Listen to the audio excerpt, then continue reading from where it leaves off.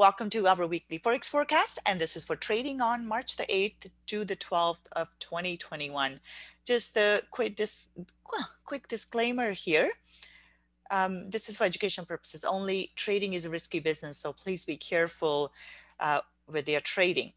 All right, so let's get started. As usual, we'll start off by taking a look at our calendar here. So coming up this week on Monday here, um, actually before we dive into that, the uh, the bill, um, the stimulus bill got passed, so there'll be $1,400 in checks for uh, individuals, and it's, I think, $1.9 trillion worth of funding, I believe. Don't call, quote me on that, but um, uh, so we should see an impact on the stock market, but there could be this buy the rumor, sell the news type of thing. Uh, so just bear that in mind. Uh, in terms of what we have coming up here, uh, we do have uh, Bank of England Governor Bailey speaking. So at this point, I'm not really expecting much to change in terms of what we are hearing from central banks. They are still providing support. Many of them aren't, or at least um, the last one that we heard, Fed. Uh, the Fed is not going, the Fed is not really stepping back from the program. They're not concerned about inflation or anything, which is a lot of, a uh, lot of people have been concerned about inflation uh, because of the low interest rates, but uh, the Fed doesn't seem to think that's a problem. And we see the similar uh, sort of thought process from other central banks around the world as well. So something to keep in mind if the um, if it doesn't change, um, then um, basically I wouldn't expect much of a uh, much of a change here.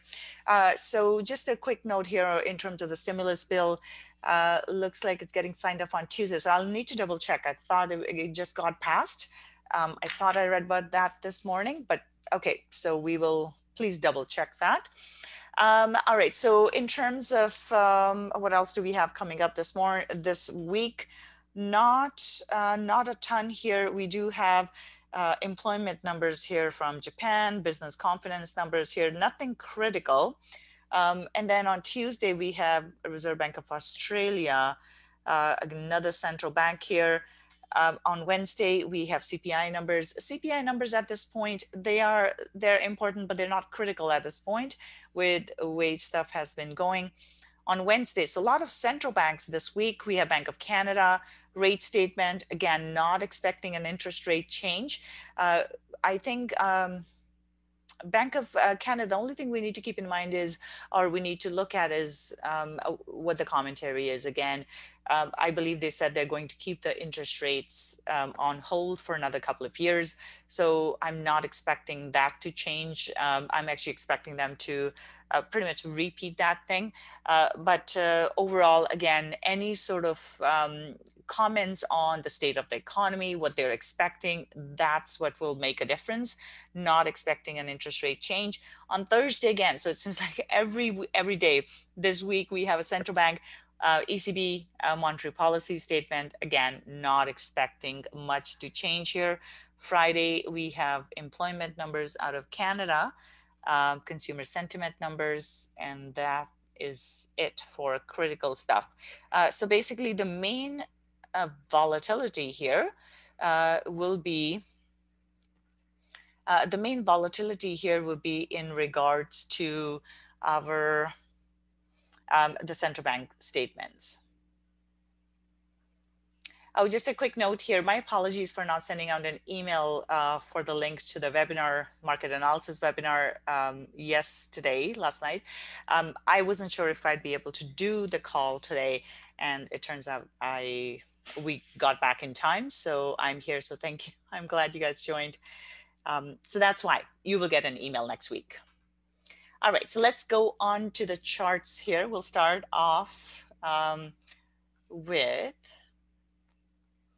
uh, with euro dollar as usual. So euro has, so over the last week, what we have seen here um, would be the drop in the risk um, risk sentiment. So our stock markets tumbled and with the stock market, um, although there was positive turnaround in terms of the stimulus bill and all of that on Friday, but overall there has been a big drop in the risk sentiment and hence we have seen uh, things drop. So uh, US dollar is a safe haven currency, and this is where US dollar fares well when the stock market is dropping or the risk assets are dropping.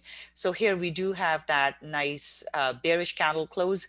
Uh, there was a nice pin bar the previous week here, nice follow through from that. So now what we're looking at would be a follow through from this candle. So looking for, um, looking at this dropping here. And then we have, uh, so in this case, biases to the downside. Only thing to bear in mind here would be we could get a deeper pullback here towards 1.2020. So right now I'm looking at a pullback towards 1.1950 and uh, then a, a, drop, but um, watch out for a deeper pullback.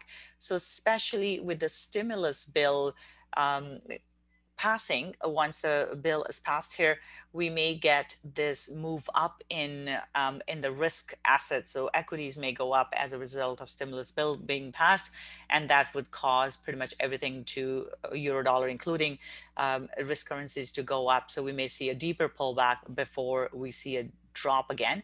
So keep that in mind. So 1.19 1.50 and 1.2020 will be the two levels to watch. And once price holds below that, we're looking for a drop. In this case, the first target is 1.1830 and then 1.1800. So bias is bearish here. Uh, another question I uh, got on the YouTube channel was also, how do I draw these things? It is not an MT4 function. This is just part of my webinar software or Zoom function, I should say uh, that lets, lets me draw these lines. So you would not find the tool on MT4. Um, all right, so looking at pound dollar here, pound also had a nice pin bar. So we got we got a nice follow through from this as well. So bias here is bearish in this case again. Uh, in terms of a pullback, I am looking for a pullback back into this uh, previous pin here, 1.3900 uh, here. And once price holds below, we're looking for a drop again, follow through from the last week's move here. 1.3680 is the first target, and then 1.3550 will be the second target here. So bias here is bearish. Uh, we do have the Bank of England here, so just keep that in mind. Any type of comments from Bank of England can uh, drive the market here. They usually do so. And our Australian dollar here. Australian dollar is very much tied into what happens with the stock market. So Australian dollar and um, New Zealand dollar will be highly impacted. So what we're seeing here with Australian dollar is a follow through move. So we had a drop, a pullback, and now uh, we're seeing this second move. So I'm looking for a continuation of this move back into 0.7565. Uh, however, bear in mind, once the stock market starts to pull back, this is likely to pull back as well. So this one is bearish. I would be a little cautious here because we may see a move all the way to the top here, 0.7830, because uh, with the stock markets going up, this is likely to go up as well. But if it holds below 0.7830, we're looking for a move back down towards 0.7565. So that is our target to the downside here. So bearish bias for Aussie dollar as well. New Zealand dollar, we're seeing a similar move here. We did see with the stock market turning around, we saw this push uh, back up on Friday, price moved back up. So now for the weekly here, we do have a nice bearish candle close. It is coming into strong, some strong support levels though. Uh, so this is this level here, 0.7100 is very important because if the price is not able to drop through this, then we are going to see uh, we could see price turnaround. So in terms of the pullback here, uh, the pin bars from the previous week worked out really well. Beautiful pin bars here, and then we have seen a follow through pin 10 is one of my favorite things to trade. So bias here is bearish, looking for a uh, looking for a follow through, but I would look for 0.7220 as the pullback level. And if price holds below that, we're looking for a drop. First target would be the low of this week or previous week, 0.7100, and then second target 0.7020. So bearish bias here for New Zealand dollar as well.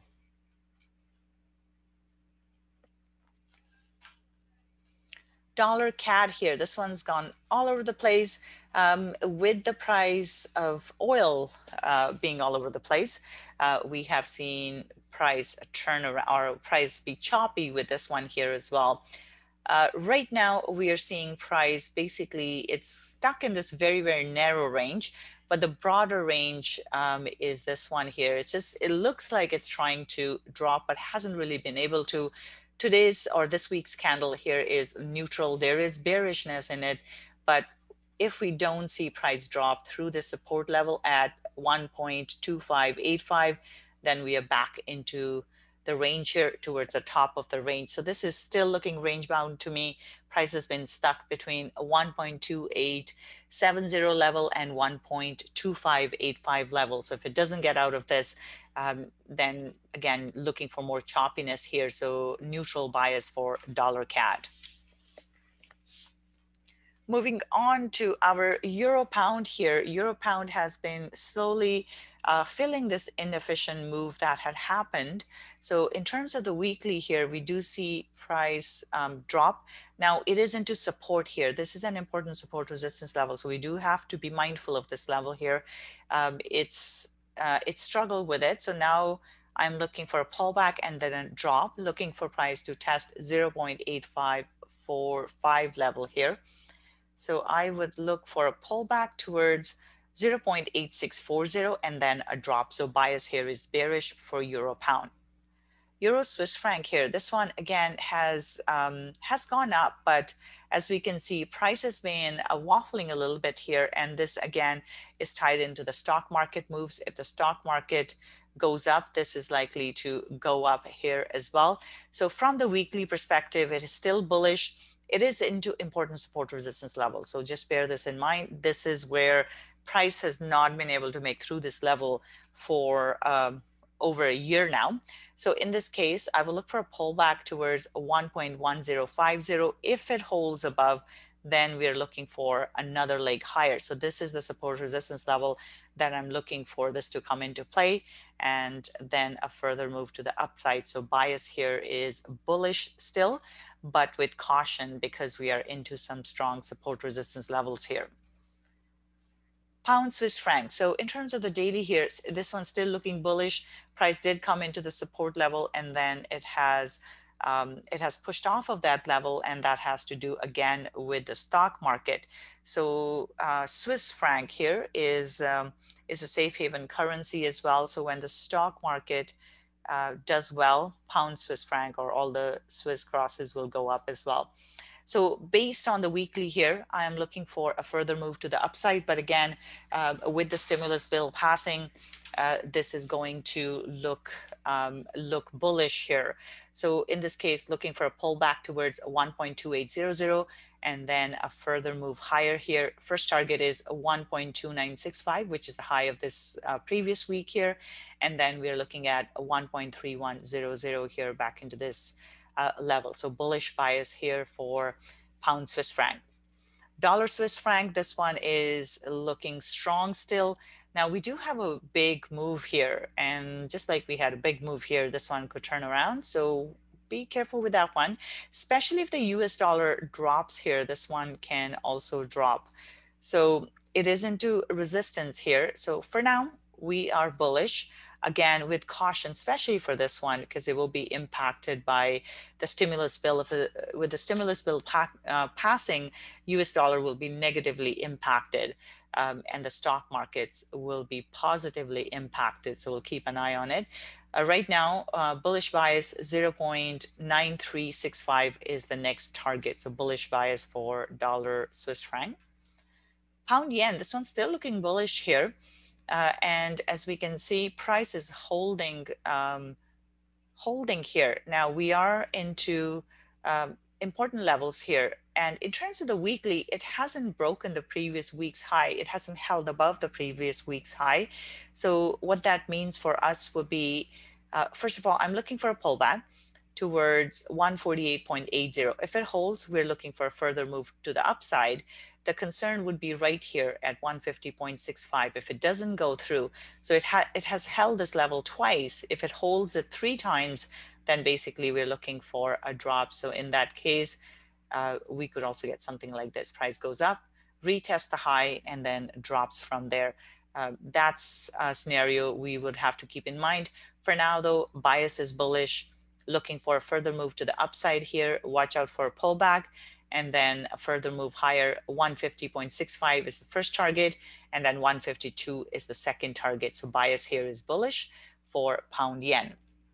Euro yen here, this is um, also looking bullish, but not as strong. We see that prices hasn't been able to break through the previous high, which means we could see this one turn around here.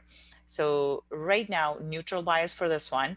Uh, we could see a retest of the high, 129.90. If it fails, we're looking for a drop back down here. Uh, and then 128.20 will be the target. So in this case, bias is neutral. We'll see how price reacts at these two levels. And based on that, we will um, look at this on the daily. Dollar yen here, this is looking quite bullish here as well. Uh, but again, we are seeing some big, uh, big candles here, which can get, uh, which can get filled. So that would be the only thing to bear in mind. Prices into this support resistance level. We do need to be cautious a bit here, but bullish bias for now. And in terms of pullback, we could look at 108 and then a further move higher, or we may see a a bit more drop here towards uh, 107.80. So those two levels will be the ones to keep an eye on. And then a further move to the upside. So bias here is bullish for dollar yen as well.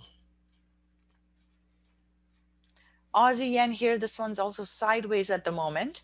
Um, and with the stock market dropping, the yen crosses did not drop uh, really they just kind of went sideways. So this is one pin bar that hasn't quite played out just yet. Price hasn't broken through the high so it's still in play but it is uh, but yen has not performed well relative to what's going on in the stock market. With the stock market dropping last year last week we didn't really see the corresponding drop here um, for the yen, it just went sideways. So right now, I'm looking for a retest of uh, last week's high, which is at 84, potentially a retest of the high of the pin bar here, and then we could see a drop. So we'll see what happens with the stimulus bill um, once it gets passed.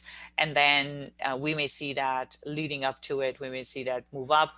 And even when it gets passed, we may see the move up, but then there may be a bit of a um, that scenario of selling after the news comes out. So that's again something to bear in mind here. So right now, uh, bias is neutral to bullish here. 84 is the first target and potentially 85, which is the top of this pin bar. And then we'll see how that uh, reacts. So neutral bias for neutral to bullish bias here for Aussie yen. New Zealand yen, as we can see, this one as well has been sideways the entire week. So looking at the weekly here, we are seeing a similar scenario. We had a pin bar here, but hasn't quite played out just yet. It's still in, in the pullback stages here. So same thing here, I will look for a retest of this week's high. If it fails, then we're looking for a drop, but we could see a retest of the high. I would keep that in mind. The pin, the top of the pin bar here could get retested and if it fails, then we're looking for a move lower here. First target would be 76.75 and then 75.65. So my bias is neutral to bullish here. It still has the bullishness in it. So it could go um, into these levels here. Uh, so bias here is bullish for New Zealand yen. CAD yen looking extremely bullish here. Let's take a quick peek at oil price.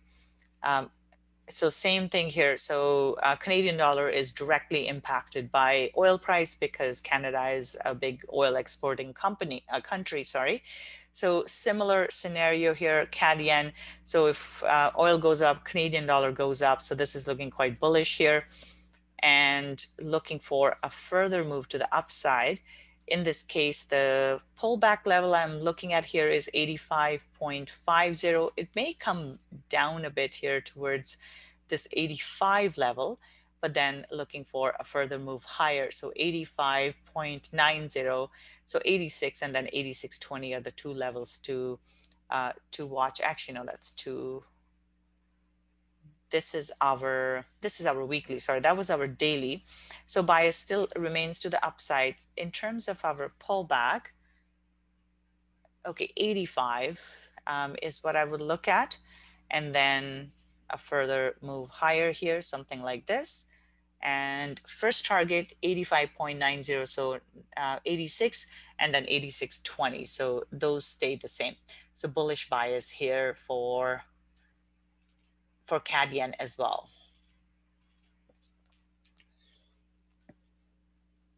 All right, so moving on to commodities here, silver. Silver, uh, we saw a drop, but again, this one is also into some important support resistance levels here. This is where price had taken off from, and here we are again. So with this one, it has been moving in the same direction as what we have seen with the um, with our stock market. So it got sold off with the stock market. So when the stock market goes up, this is likely to go up as well. With this here, um, we could see a move higher towards 25.90. And if that holds, uh, another leg lower. So right now we're seeing a bounce off of this 24.85 level, which could continue higher.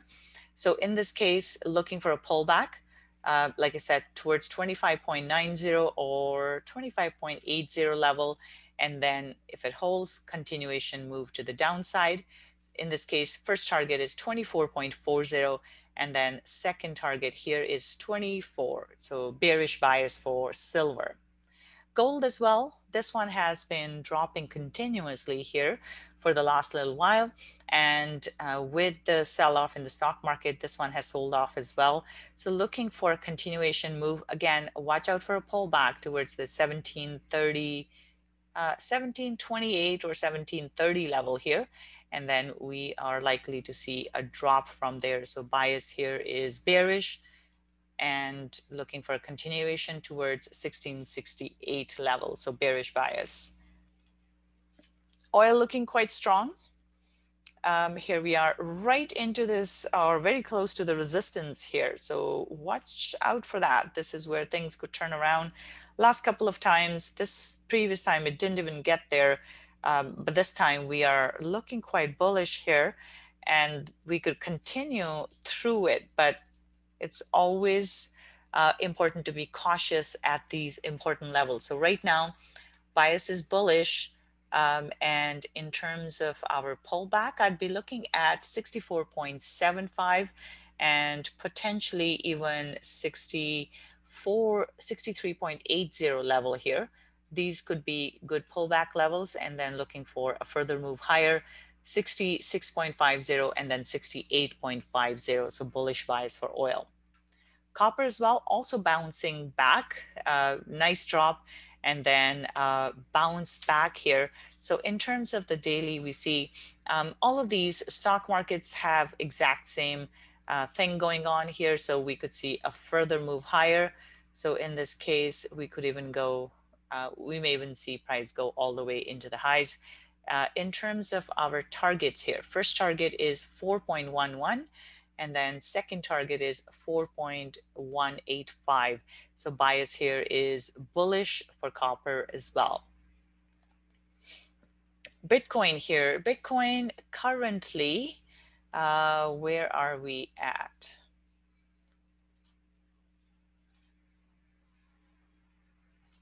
Okay, so 51,000. Thanks, Salvatore.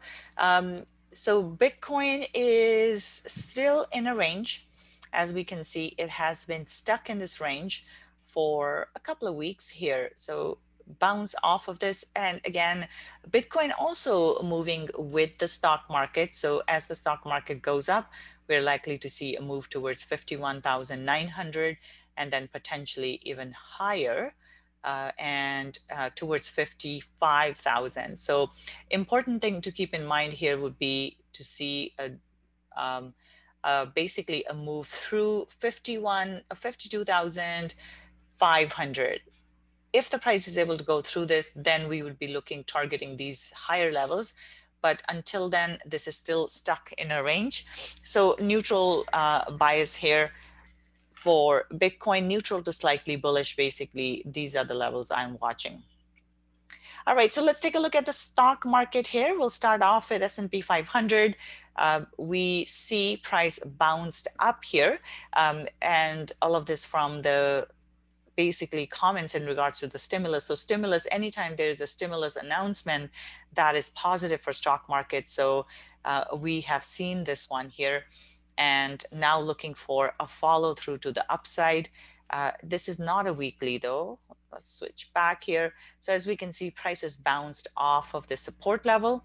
So right now it's neutral. I will look for a retest of the high here. Uh, first target is 38.65 and then 39.20. Now what can happen uh, would be price bounces all the way into the high and then this is where the fade may happen. This is the only thing we have to be cautious about. But the uh, the positivity or the positive sentiment in regards to the stimulus should push this up. Uh, but watch out for that. Um, uh, that drop after that would be the only caution here. So this one as well, uh, looking at NASDAQ, as we can see, price uh, bounced off of that level here on the positive uh, sentiment. So here prices into resistance. So just watch out for that. Uh, next target is 12,950 and then we're looking at 13,180. So uh, bull, neutral bias here. Uh, we may see bullishness because of the sentiment. This one as well, this is Dow Jones um, looking positive here. A big, huge move up and in terms of our weekly here, this is actually looking bullish here. So we could, we are likely to see a further move higher. But again, watch out for this resistance here, 31,750. But I'd be looking for a retest of this 32,100. So bias here is bullish for um, Dow Jones.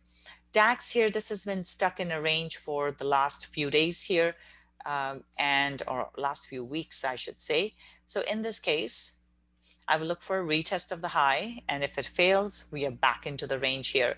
So still looking range bound, expecting a range bound move. Once it goes through though, then we are likely to see another move higher. So this is still in that positive um, uh, positive uh, or I should say bullish flag here, but still the positive move hasn't broken out though, so it's not quite ready but just something to keep in mind. FTSE here, FTSE also looking bullish here uh, for the day. Oh, sorry, for the week actually. Uh, for the day here, it, it did, well, actually it was Friday that pushed everything higher. So in this case, neutral to bullish bias here. Once it gets into the high at 67.85, this is where we may see problems here and something like this so right now it's still in this neutral range here that it has been trading in the last little while here. So for now, uh, neutral to bullish bias target is 67.85. All right, Nikkei here. Nikkei also looking bullish here. Um, it again, the Friday move here pushed it higher.